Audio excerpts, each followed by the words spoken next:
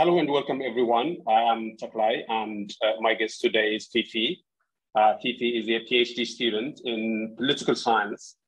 Uh, she has got um, really interesting insights in Ethiopian politics and especially in the ideologies that different political parties um, throughout the, the decades um, have tried to uh, espouse and have tried uh, to implement on, on Ethiopia. And uh, today we're going to discuss about those ideologies. Um, and I think uh, this is one of the least uh, discussed subjects in Ethiopia, uh, largely because we are um, daily bogged down by the events of, of the day. And we haven't had an opportunity to zoom out of all of that and talk about big picture um, issues like the ideologies and the, the thinking, the uh, philosoph philosophical foundation of the, of the regimes and, and all that. Um, and uh, today, uh, we, we will zoom out of all that details and abstract away and try to give um, uh, talk about those um, ideological um, issues. And uh, I can't think of a, a, better person than, than Fifi to, to do that with. She's an enormously uh, informed um, um, academic and she's a thinker. I have uh, attended a lot of meetings with Fifi, and I was really, really um, uh, excited uh, to have her on today. It has been a long time in, in the planning so I'm really, really excited uh, today. Uh, Fifi, please um, welcome and say a few words. Thank you so much, Tech, for that and for the kind words. I'm not sure they're entirely deserved, but they're very kind nonetheless. And I'm very excited and I'm looking forward to this conversation because I I do agree with you that ideology is among the least discussed aspects of the political changes that have been occurring and continue to occur in Ethiopia. And I think we can't really afford to ignore it. It is deeply connected to reality. Ideology, in some ways, produces the realities that people now are, are kind of occupying. So I think it's really important to have this discussion and to trace out historical continuities and disjunctures to better understand how we get out of the myriad of uh, political crises that the country and the people within it are grappling with right now.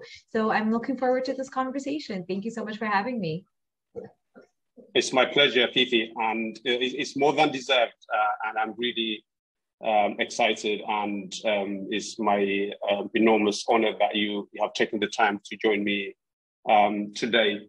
So, um, why don't we start with with um, uh, prosperity party, uh, Fifi? I think most of the time people don't bother themselves to try to um, study what the um, ideology that the prosperity party is trying to to push, uh, simply because I think uh, it's a party that borders on on being comical and it generates a lot of crisis on a daily basis, anyways um, that has meant that people haven't really had the time to think in ideological terms about um, prosperity party. And I thought that is a strange place to, to start, I acknowledge, but I think it would be good for us to, um, if we started by saying what um, the prosperity party is trying to implement in Ethiopia. If it could, if it could, if it could have things this way and if it wasn't embroiled in war, uh, what you think that would have been trying?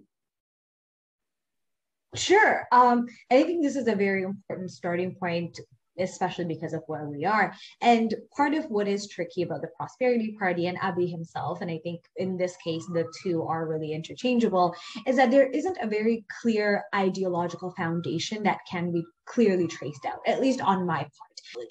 So there are policies that have been pursued. Um, kind of in a disjointed manner. But there have been also a lot of reversals and U-turns. So initially, I think the economic turn was what Abiy Ahmed called a, uh, a homegrown economic policy, which he contrasted with the developmental policy of the EPRDF era. And what this signaled to a lot of us was neoliberalism. He promised liberalization both in the political sphere, but also in the economic sphere as well.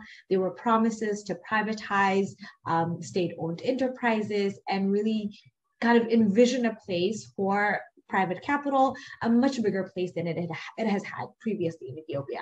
And this has its proponents and this has people who see it as a very dangerous move in a country of what 110 million people where the vast majority live under the poverty line. But this seemed to be the economic policy that was being pursued.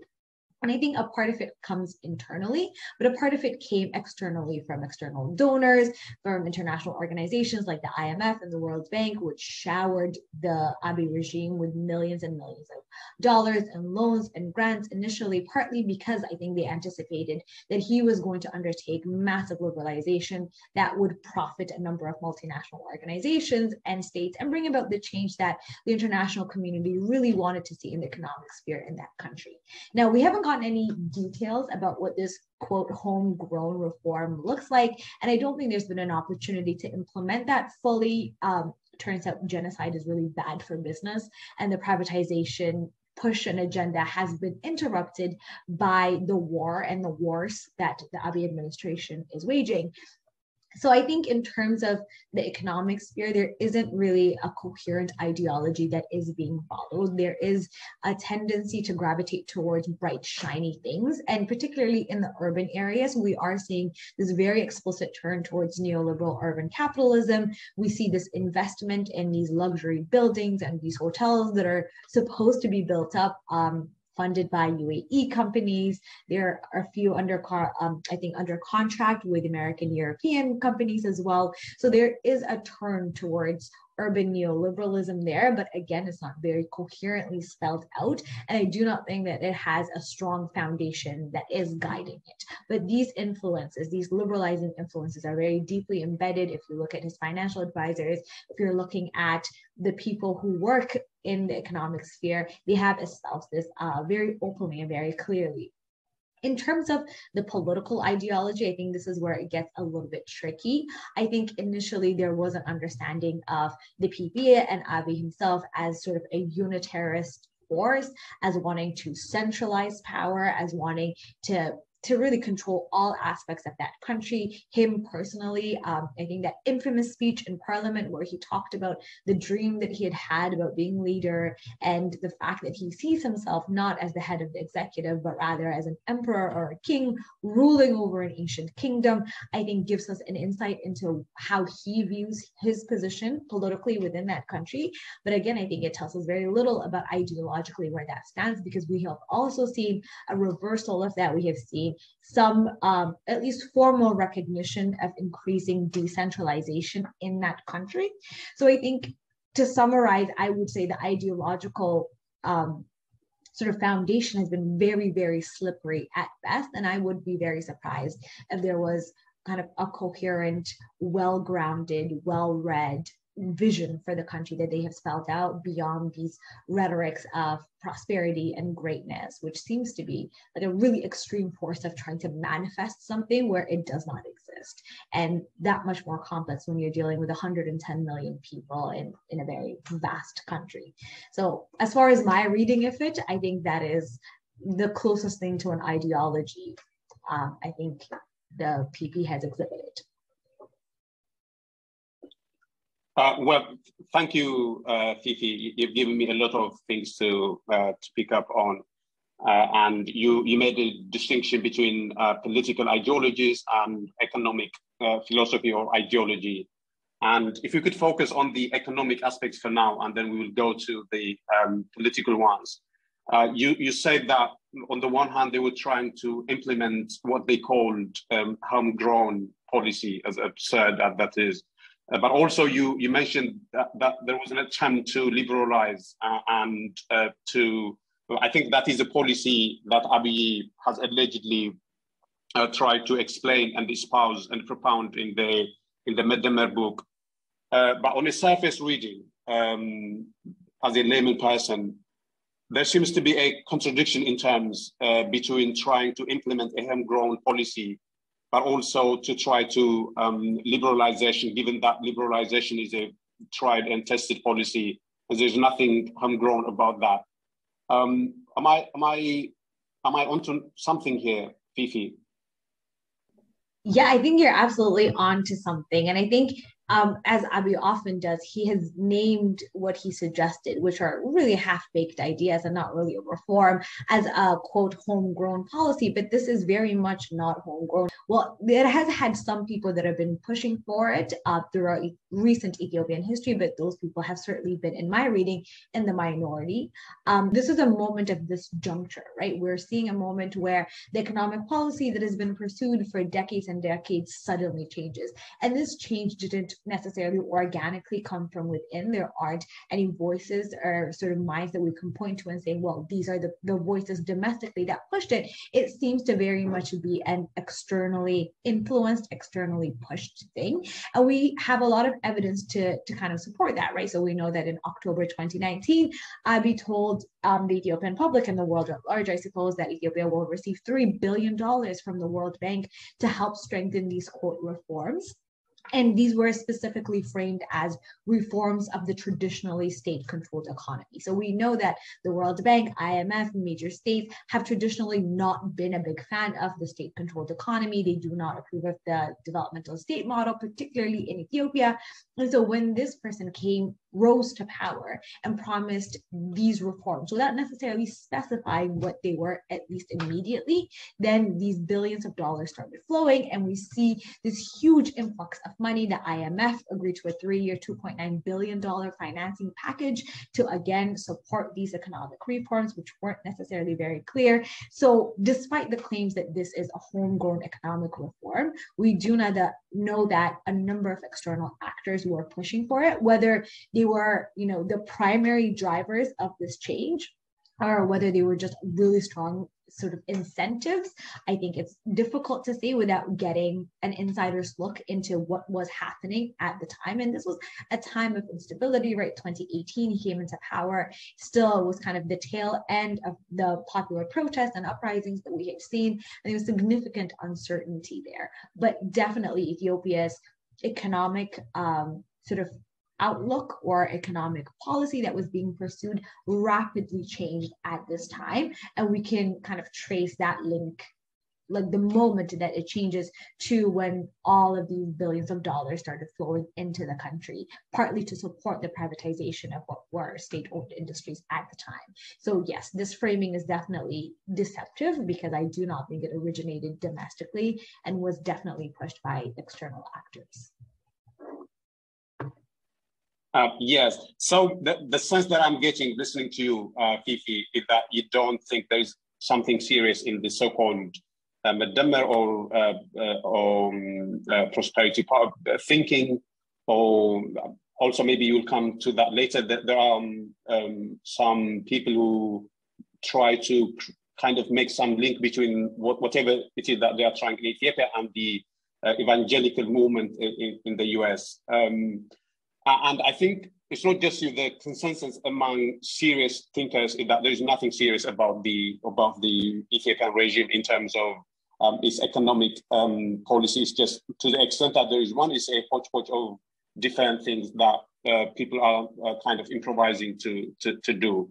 But from time to time, I worry maybe if we aren't throwing the the, the baby with with the bathwater. Do you do you do you see or do you sense that there could actually be something good that Abiy is trying to implement, uh, but that he's being misunderstood or he's thoroughly um, useless in, in his economic um, um, philosophy?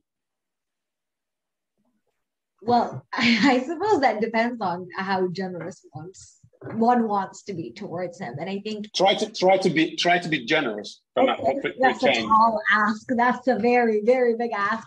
Um, so I mean, we're all kind of embedded in our own positionalities, right? And we understand these things and form our opinions of what we deem to be good and not good based on what we believe and our own experiences that we have had. So for me, it's it's very difficult, even if one buys the idea that neoliberalization of the Ethiopian economy is occurring, that urban capitalism primarily, but capitalism writ large, is expanding and deepening across that country, right?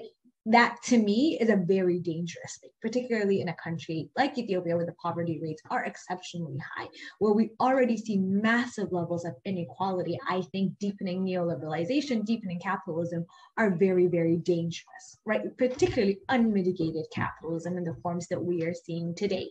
So I personally think this is negative.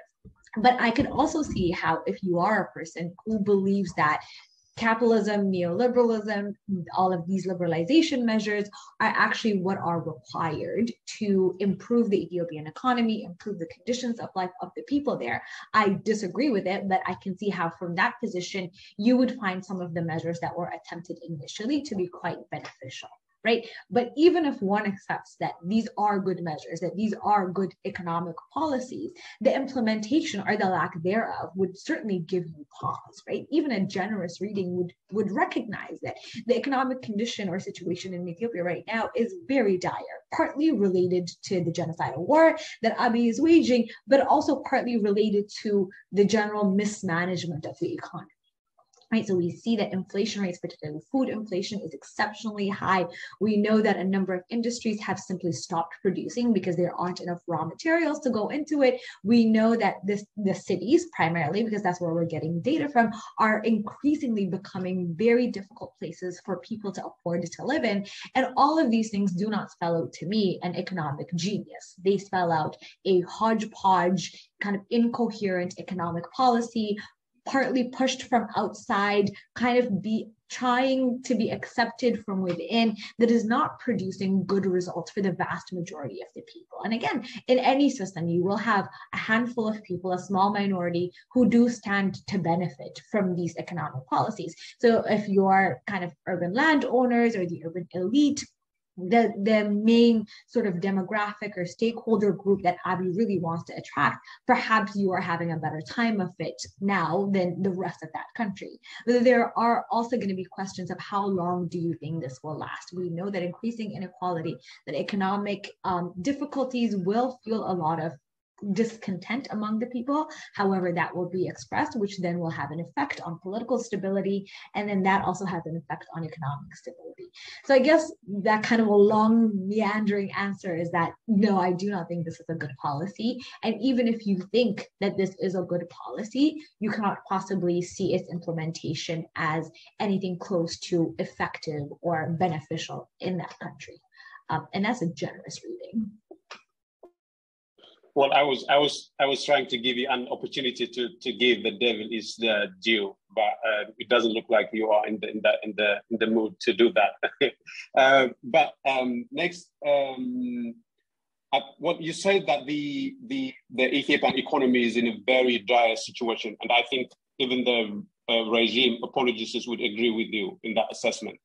Uh, but they they won't put it down to um, to it being a, a, result of a deeply, deeply flawed economic thinking. They would say that the reason Ethiopia is in in dire um, economic straits um, is because the, the entire world um, has been conspiring against Ethiopia, and that Ethiopia has been having to fight against the all the Western powers. Um, and also, um, they would say that the TPLF and all the armed groups in Ethiopia are really Trojan horses for, for the for the Western powers so that to the to the extent that there is economic deprivation in Ethiopia, it's because of those factors and not because of the underlying um, economic thinking in the country that you said um, doesn't work. Um, so that, that would be their defense. Um, I'm trying to play the devil's advocate here, Fifi. Sure, sure. Um, so, I mean, it depends on how seriously one wants to take that assertion. It assumes a centrality and importance to Ethiopia that I don't think really exists in the real world.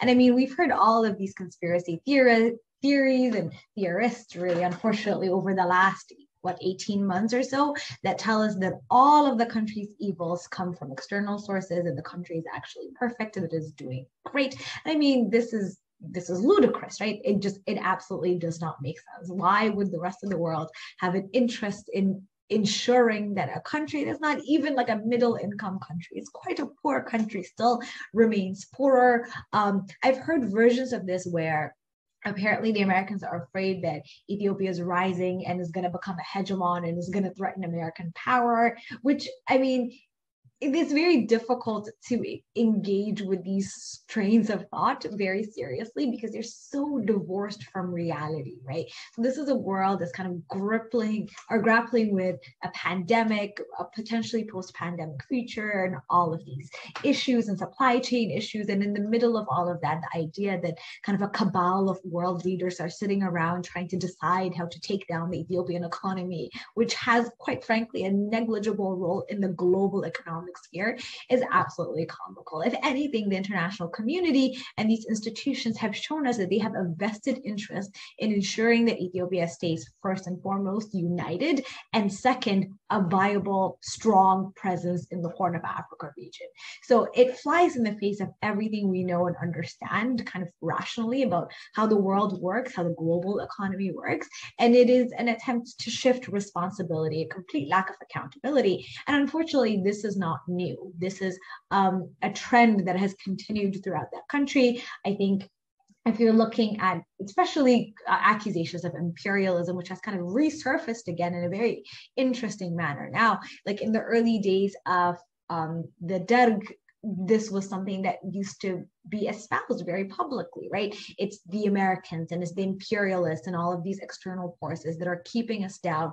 No, we are great. And they are the ones that have kind of conspired to deprive you of everything that you deserve to have. And this is designed for the domestic audience and i think much of the domestic audience is far too smart to actually buy that right and i think what we're seeing is a version of that that's just been regurgitated but like with most things that abiy does and the pp party is engaged in it's kind of done half-heartedly right so there is an attempt to say well american imperialism is is bad but please keep us keep our kind of trade benefits or keep us as part of the AGOA and things like that. So even this kind of fairy tale that they allude to, they do not stick to that strongly because there is an indication, a very clear indication that they understand that that's not how the global political economy works. So that's about as seriously as I think I can take them. And I'm afraid that comes across as quite ungenerous, but I think that is the seriousness it deserves.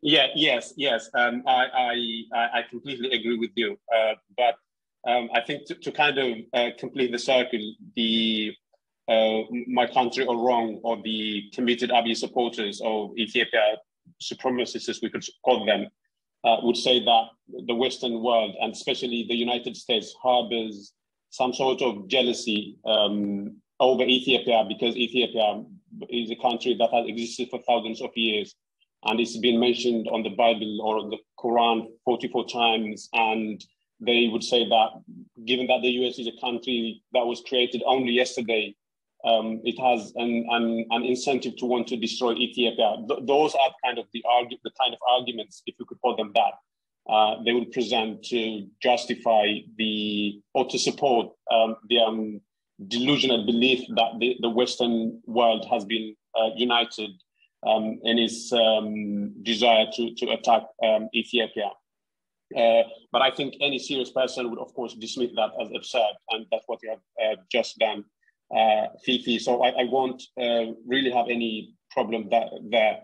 Uh, but in, ter- in, terms of the uh, Prosperity Party, um, it was created in the ruins of the EPRDF, um, right? And one of the promises that they made four years ago when they when Abiy came to power was that they were trying they, they would only try to fix um, the problems of, of the EPRDF.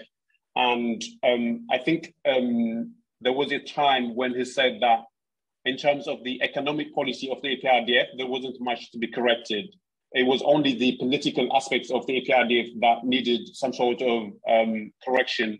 And we'll come to that, the political um, dreams of Abiy and the political problems of EPRDF. But in, to to just um, make the point uh, with respect to the economic policy, what would the, the PRD's um, policy and how would you contrast this to to to the to the current regime's policy and why? I wouldn't say why did it fail, but and the reason um, the whole regime failed was because it didn't really work. Um, so why? Try to explain that. Sure, that's a, a big question. And I think before we move on from the conspiracy theories, which are always a fun place to dwell and I think, you know, we this is not to discount the role that through financial institutions, through geopolitical kind of um, dynamics, through direct and indirect influence, through funding, that developed states such as the US, it's not to suggest that they exert no influence around the world. We know, in fact, from a, a long history, less than illustrious, that they do exert a lot of influence over different countries. And I think what is ridiculous is to suggest that because of the perceived grand history of thousands of years of this country, that the United States is out to get us. I think that part of it is the ridiculous part. Um, so just to kind of clarify that. And I think this economic question, particularly the change that occurred between the EPRDF era economic policy and the change that was at least promised under Abiy and the PP is a very, very important one. So I think in the early 2000s, the Ethiopian state officially adopted developmental state ideology. So developmental state ideology was inspired by the so-called East Asian tigers, you know, Taiwan, South Korea, and these countries in Eastern Asia that were able to register rapid economic growth in a relatively short period of time through the heavy involvement of the state in the economic arena. So this meant a lot of state-owned, state-managed enterprises. The state and private capital were working hand in hand in these countries to foster development. And this worked really great. This happened in the 90s and this was envisioned as a possible way forward for Ethiopia. Um, and before that, different policies had been tried, but they had produced very few results. So, what this meant in the Ethiopian context was that the state was a central player in the economic sphere, that the state owned some enterprises, that it shared some enterprises with private capital, um, and it invested very heavily in public projects and public infrastructure. Some of them are really visible ones, like the Grand uh, Renaissance Dam, um, the condominium projects that were tried in Addis Ababa, implemented actually in Addis Ababa, as well as a couple of different other cities across the country.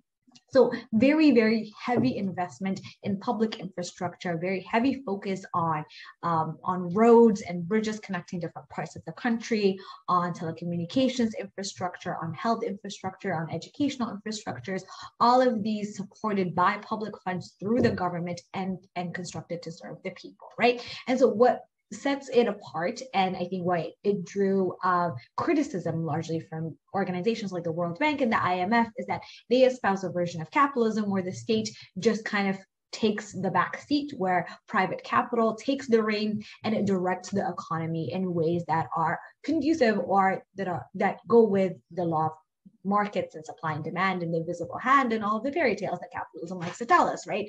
Yet, what the Ethiopian case demonstrated, particularly with the developmental state, is that there is a place for the state, for the government, in a country with a very low level of economic development, such as Ethiopia, for the government to take the reins to direct investment, to invest directly, um, and collaborate ideally with private capital to achieve right? And I think an element of it that was missing, that wasn't really as strongly visible in the Ethiopian case as it was in the East Asian case, was that this collaboration with private capital was was missing in Ethiopia, partly because private capital was not as developed, um, just kind of coming out of a 17 year civil war, right? And a part of it was because there was an unwillingness on the part of the government to really meaningfully incorporate and work with private capital. And so, whether this developmental state model succeeded or failed, um, that depends on what metrics we are using. So, we know that there was very heavy investment in public infrastructure at this time. We know that maternal mortality rates, infant mortality rates declined. We know that life expectancy improved for the vast majority of the, of the residents of that country. We know that economic growth as measured by GDP was really astronomical for a number of years there. Ethiopia had one of the fastest growing economies in, in Africa. And a lot of people do make the claim that some of these figures, such as an 11% annual GDP growth, were exaggerated. And we can allow for that, maybe calculation error or intentional um, exaggeration, but what is undeniable is that there was massive economic development being registered all across that country. So I think in that regard, then it has had many, many successes. Although on the other side, it did have significant shortcomings that definitely contributed to the downfall, right? And a part of it was the way in which it was pushed through, right? There was a certain level of kind of authoritarian developmental state, and authoritarianism and developmental state ideology oftentimes, unfortunately, do tend to go hand in hand because of the government is the one directing economic investment and directing the direction of the economy writ large. They, there is an exercise of state power that goes beyond what is democratically acceptable. And that was certainly the case in the Ethiopian context as well um, during the EPRDF era. And this obviously drew strong criticism from people. There wasn't a consultation process, stakeholders, people on the ground weren't really consulted about the changes that would affect them which again fueled a lot of criticism there as well. And I think one of the biggest problems with the adoption of developmental state ideology in Ethiopia is that it is incompatible with the multinational federalism system that the country has had since 1994, right? Because multinational federalism requires a significant level of decentralization whereas um, developmental state ideology requires a significant level of centralization i think there is there was and continued to be an incompatibility there that wasn't really resolved by the EPRDF government. I think they leaned towards the developmental state ideology. I think the I mean the the influence of the early days of the struggle is also evident here because they did believe that the economy first and foremost is the most important thing that has to be tackled. Then once you resolve the economy issue, once people are able to eat and have places to live and whatnot, then you move on to other problems. Unfortunately, that is not how issues get ordered in real life. And so I think this tension here between the promise of decentralization and the practice of centralization was one of the major factors that led to this particular economic policy not being as successful as it could have been. Um, and of course, there are a number of other issues there as well. But again, you can see how that policy was kind of almost immediately replaced by what was framed as an alternative, although we have very few details on it. And a really prominent part of the developmental state ideology and practice was that it was explicitly pro poor and pro peasantry. And so that is what fueled a lot of this public investment. And we know that growth happened with relatively limited in inequality. So oftentimes when rapid economic growth happens, inequality also soars. I believe there's an IMF report in the early 2010s that that was published that actually talked about how inequality was relatively limited given how rapidly the, the the economy actually grew. So it definitely is a mixed bag. It has its successes and its failures. It has its supporters and detractors. Um, and I think history will bear out whether that was a better approach than the approach that is being taken now. Well, I, I think that was an excellent exposition of, of the uh, developmental state uh, model, Fifi. Um, and I think you have articulated the, um, the, the benefits or the virtues rather of, of that system and what um, it did bring about in Ethiopia. Um, and I don't have anything to, to add there, but I, I'm just um, wondering if I should kind of um, try to articulate some of the reservations that people would surely have about that kind of system. And uh, I would be really interested to hear um, what your views on, on those um, would be. So I'm not trying to, um, I, I, don't want you to defend um, developmental state. You could do that if you want, but I, am going, going to just give you some of the um, some of the drawbacks or reservations that people, of our listeners, will surely have. And the first one, I think, um, is that although um, developmental state model uh, brought about a lot of positive things to the country. The benefits didn't accrue proportionally to all people. And that was the reason why the youth from Oromia and Amhara um, took to the streets to, to protest. It was because they didn't feel as though they were benefiting from whatever the, the system was um, uh, producing, uh, right? Although uh, they were, I think any serious person has to agree that they were agitated by, by media, but in order to agitate some people, they should have a reason to be agitated. But, but you can't really agitate a person who is living a comfortable life. So th- that would be the, the first reservation against that the system that the benefits didn't really accrue um, to everybody proportionally. And the other one would be what they used to call in Amharic uh, that the state didn't really have the right tools commensurate with, with the idea that it was trying to implement. It wasn't best placed to, to execute the ideas and the policy that that model would have uh, implied.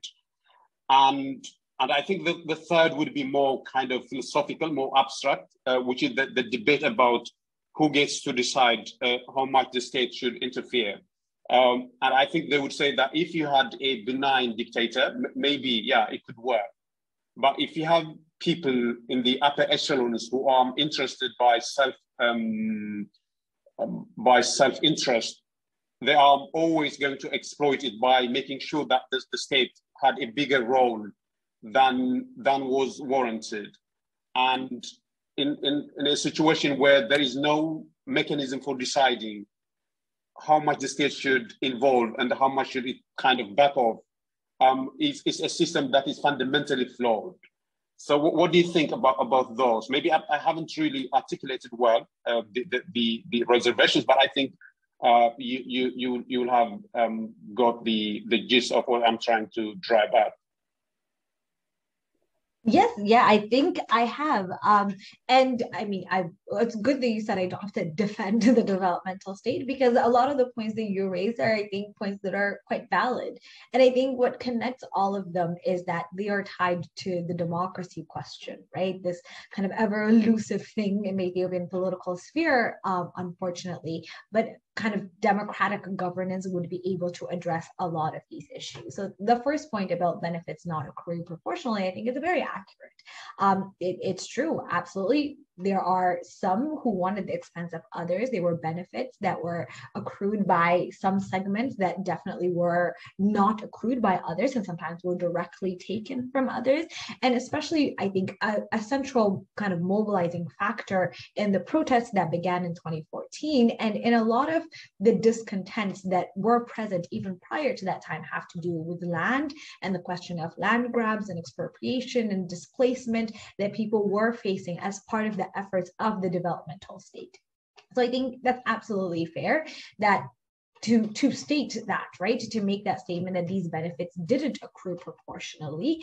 Um, now the question then becomes what is a system we envision in which these benefits would accrue proportionally right? And i think some of these accounts um, either honestly or disingenuously tend to kind of intentionally understate the benefits that did accrue to large segments of the population, right? When you have heavy investments in things like roads and bridges and hospitals and schools, it is the vast majority of the people, particularly the rural people, that benefited from that. Increasing connections means that farmers are are able to get their produce to the market faster. They're able to get information increasing connections between farmers and and sellers means that that kind of process is a bit more efficient.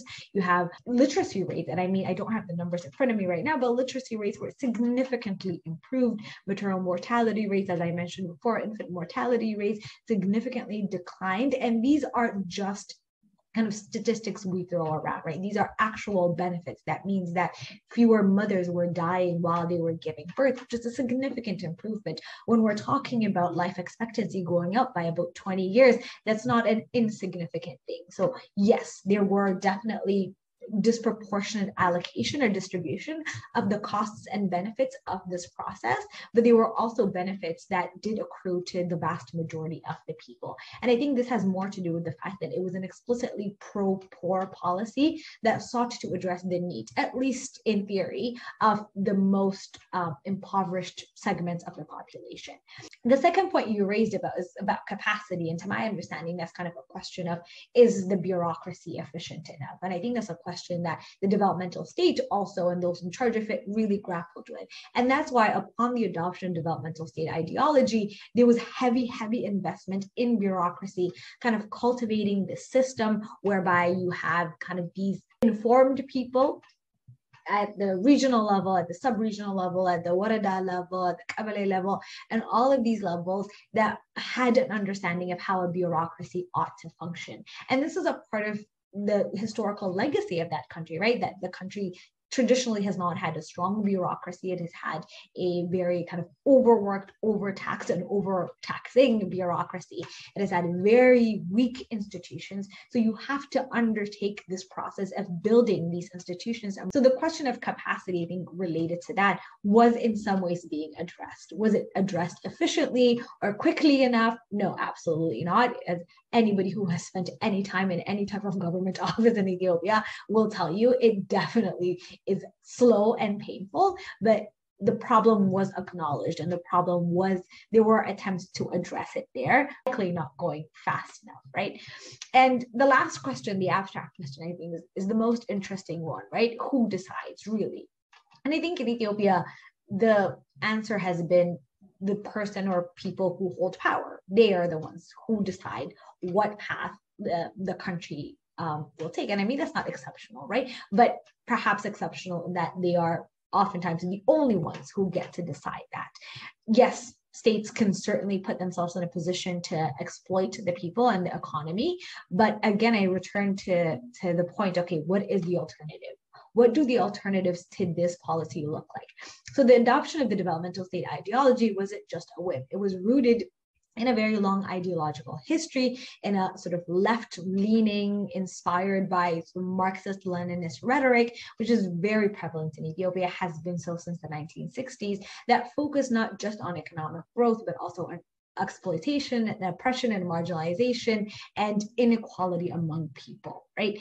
So that element couldn't really be discarded. So that element certainly came into how these decisions were made. Um, again, when we're looking at alternatives, if we're looking for an alternative that addresses these points that you've raised, unhindered capitalism, and particularly neoliberal capitalism, will certainly be worse in terms of how disproportionately the benefits will be distributed. One thing we know for a fact that deepening capitalization almost always deepens existing inequalities. It makes people who are poor much poorer in relative terms and sometimes in absolute terms. And it accrues so much benefit to a handful of people. So if you're worried about those who hold state power getting all of this money and resources and influence, then private capitalists getting all of this money and power and influence should be equally, if not more, alarming because they don't have an explicit pro poor or pro peasantry ideology that they adhere to. They don't have a concern with inequality because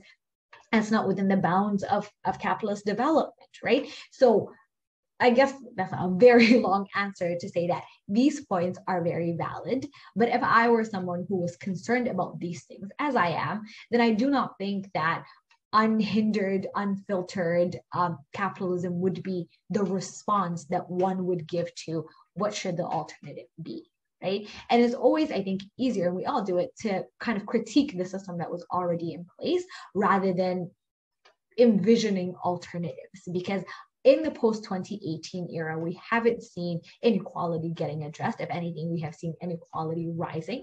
We have seen inflation rising, uh, particularly in urban areas, which affects the urban poor most disproportionately. We have not seen necessarily bureaucracy getting strengthened.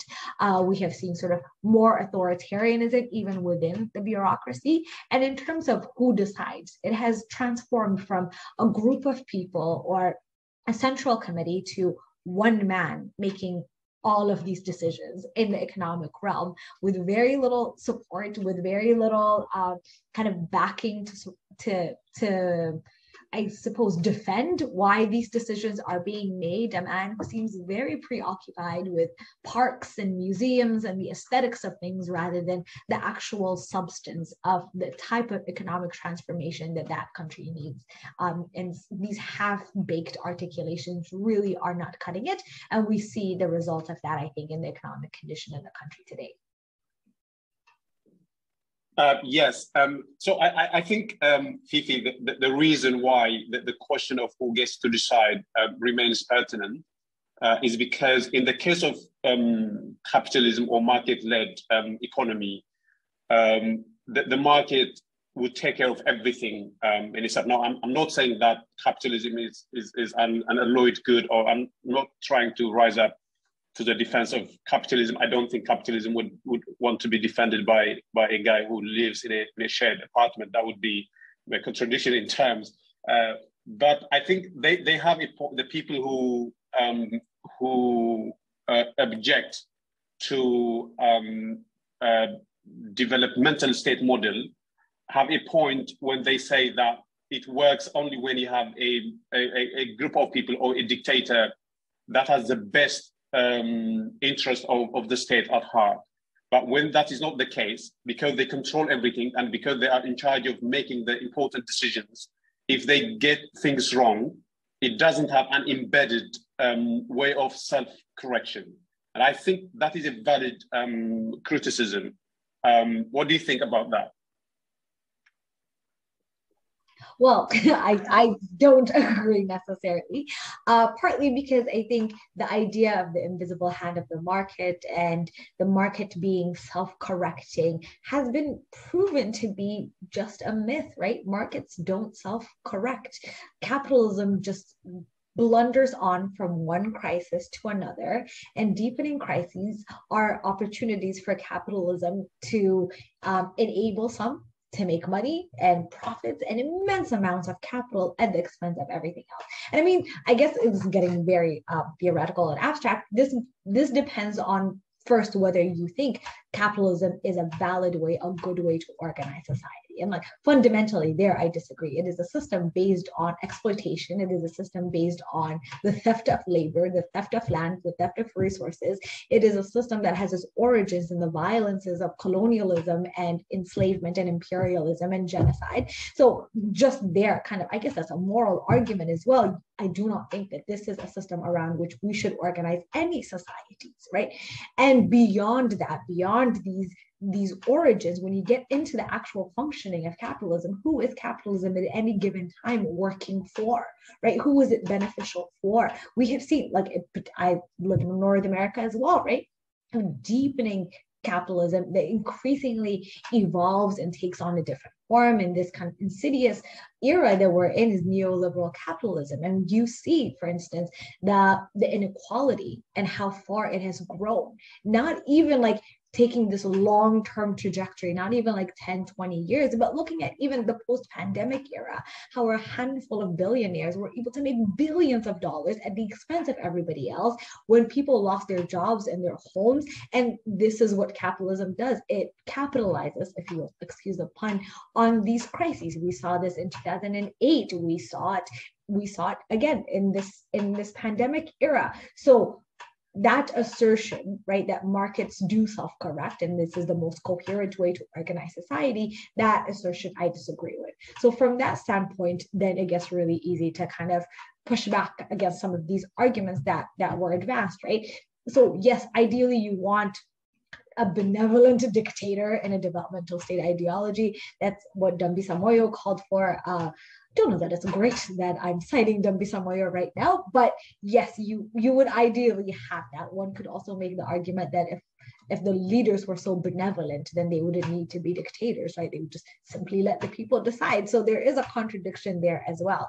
But this those who occupy state power you do want them to be interested in addressing inequality poverty gearing their policies towards addressing the needs of the poorest people within that within that given society. But if you are a proponent of capitalism who do you imagine will fulfill that role? Because capitalism is a system centered around the accumulation of capital this perceived endless accumulation of capital.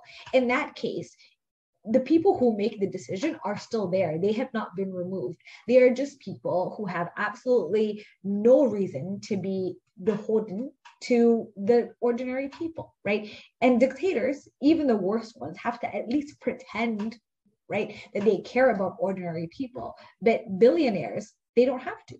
And they show us all the time they don't care about the ordinary people at all, right?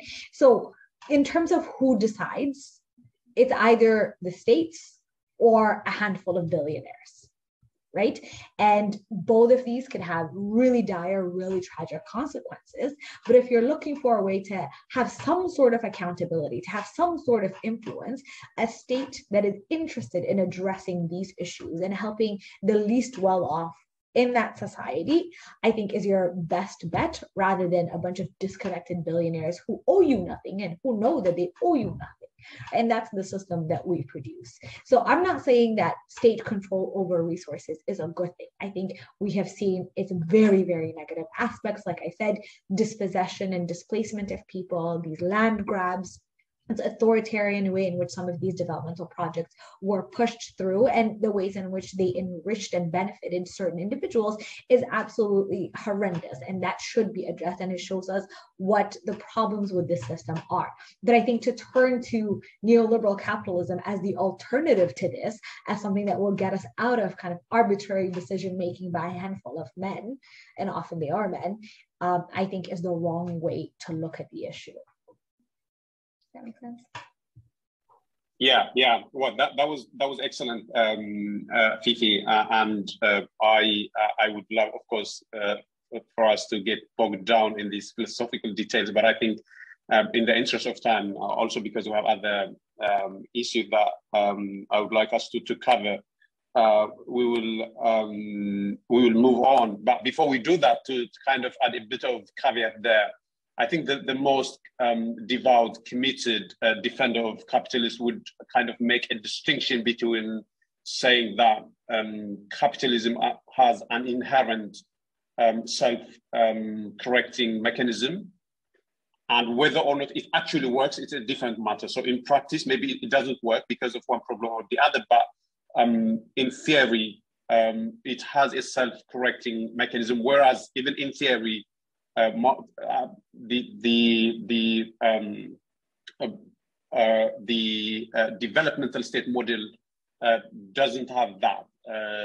but anyways, I think you have made the, the case for it and also the, the case against it um, excellently, and I don't think there's anything to, to add.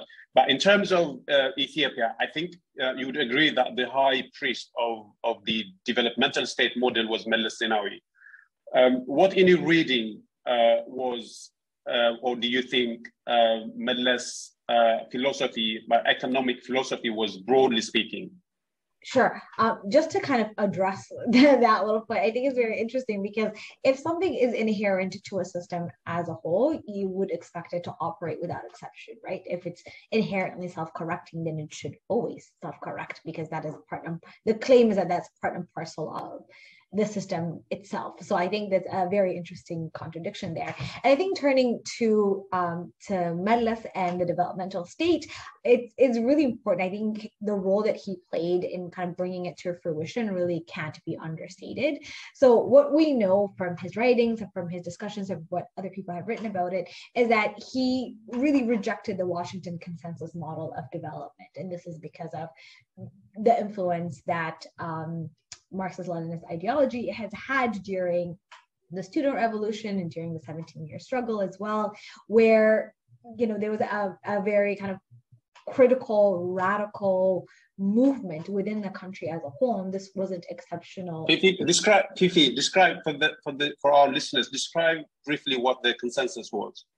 Um, so essentially, the Washington Consensus, again, um, deeply connected to um, sort of capital I, I keep harping on about capitalism, but capitalism and a capitalist path towards development was, I think, suggested in 89. Um, and so it talks about the ways in which countries, particularly poor countries, can achieve economic development. And it sets out a number of uh, procedures and it sets out a number of processes that these countries can follow uh, in order to achieve development. And these include things that we're familiar with, such as trade liberalization. We see uh, privatization of state enterprises that's being suggested as something that's really important. Um, it encourages countries, particularly poor countries, to seek foreign direct investment or FDIs. It talks about deregulation, remo- removing tariff and non tariff barriers. So essentially, more incorporation into the global political economy, the global capitalist political economy, so as to foster economic development, right? And what Meles rejected was that this Washington consensus could work in the African context as envisioned. And you know, the, the EPRDF was formed and came into power at a time when the Washington Consensus was at its height. It was kind of domineering heights, right? You had to either obey or and get completely rejected. So some of the rejection, particularly initially, wasn't very explicitly stated, but later on came to be explicitly stated. And so the adoption of the developmental state ideology was as an alternative to the Washington consensus of development. It wasn't a complete rejection of the global economy because there was an understanding that at this time in an era, you couldn't be the country could exist um, outside of the global political economy. But the specifics that were recommended were rejected by Meles. And I think um, developmental state ideology presents what the alternative looks like, right? And we have this long kind of influence, ideological influence, but development was also envisioned not just as an economic process, but also as a political process, right? Initially, at least um, first in the first phase would have to be a political process, right? So you have to set up the structures that are necessary to foster and encourage um, economic process in a country like Ethiopia. And I think this was based on kind of um, a pragmatic assessment of the condition of the country in 1991 at the formation or of the, the transitional government and what the needs were and what the capacities were, right? So it was a very pragmatic decision in the early 2000s when they decided to adopt this because another ideology, agricultural development led industrialization, was tried for a number of years. And this was supposed to bring about industrialization through development in agriculture, but this produced abysmal results. So the turn towards developmental state ideology was adopted at this time and is motivated by the same things that I mentioned earlier, concern sort of for pro-poor, pro-peasantry policy that did not exacerbate the inequality issue that had existed in that country, right? And it centered around sort of the retention of some um, enterprises in government hands, some were privatized, and the central component of it was the continued public ownership of land. There was significant debate when the constitution was written in the constitutional commission whether the land which had been nationalized in 1975 i believe by the derg should continue to be national public property or should it transform to private property? And I think perhaps we'll delve more into this later. It's, it's such a central part of some of the debates that have been going on and continue to go on today that needs to be addressed.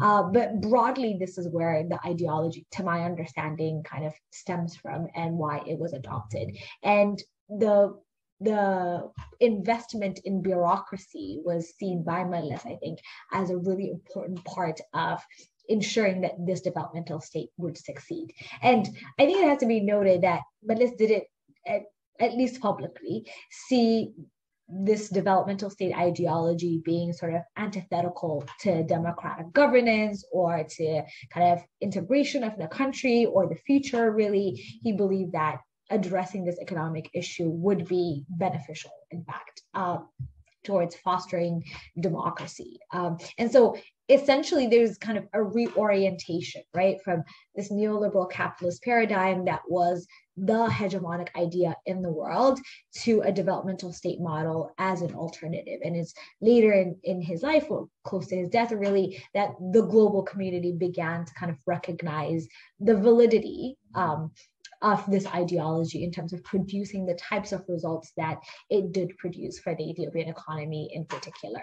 And the Marxist Leninist influence and the notion of revolutionary democracy, that is a handful of people that make the central decisions within the country, I think were really integral to how he envisioned and implemented developmental stateism in Ethiopia. Uh, yes. So, so um, to be precise, uh, I think it was it was called um, democratic developmental uh, state, the, the, one that uh, Meles was um, um, espousing. And uh, am I right in believing that there were some people who were um, of of the view that saying democratic developmental state was a kind of a contradiction in, in terms you can't have a state that was developmental but also democratic. And I think that Meles spent a, a, considerable amount of time trying to make sense of, of, of that. Yeah, I think that's a very valid criticism because, like, to me at least, the democratic developmental state, like, I don't necessarily use that term because I don't think it makes sense. Um, and even in this articulation, it didn't necessarily make sense. So Meles was able to articulate it quite clearly or articulate his vision of it quite clearly. But they were also it was used in a very eh, kind of fluid and not necessarily very concrete precise terms by other folks in the EPRDF it was almost intentionally kind of ch- changing color almost because there wasn't a very clear understanding of what democratic developmental state is. Again, that seems like a contradiction in terms because an element of the developmental state is that you have a state strong enough to kind of ram through these reforms and these decisions and these economic directions, regardless of what the people kind of on the ground want, which is in large part the record of the EPRDF era of governance. And I suppose one could envision kind of a world in which democratic norms and not in the kind of western liberal democracy type way, but at the very basic level, like stakeholder engagement, one could envision a way in which this could be done. And I think sometimes there were attempts to implement this. So, for instance, when issues regarding land was raised, you're supposed to have these committees that consult with the people who are facing eviction or expropriation of their land or dispossession. And you're supposed to have conversations with with the people before you carry out um, these processes. But we know that in practice, these just became ways to tell people people what needed to be done rather than to actually consult with them about what they believe ought to be done. So there are if one it wants to be very very generous there are ways to incorporate democratic governance at least in some limited sense in this developmental state ideology. I do not think that's what the record of the eprdf era of governance has shown us because that democratic element of the democratic developmental state was sorely lacking in many instances